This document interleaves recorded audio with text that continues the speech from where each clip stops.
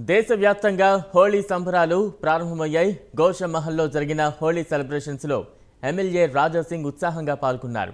పెద్ద ఎత్తున స్థానికులు హాజరై హోళీ జరుపుకున్నారు. సహజ సిద్ధమైన రంగులతో హోళీ జరుపుకోవాలని రాజా సింగ్ సూచించారు. కెమికల్ కలర్స్ వాడకానికి దూరంగా ఉండాలని పిలుపునిచ్చారు. ఈ సందర్భంగా అందరికీ హోళీ శుభాకాంక్షలు తెలిపారు.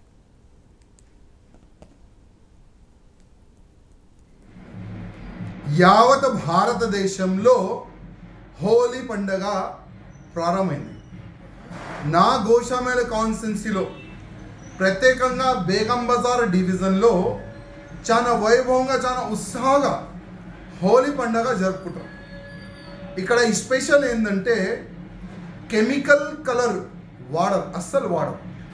చేతి నుంచి కొన్ని పూలని కలెక్ట్ చేసి దాన్ని రుద్ది దాని నుంచి ఒక కలర్ తయారు చేస్తారు. అదేవిధంగా కొన్ని గులాలు కూడా తయారు చేస్తారు.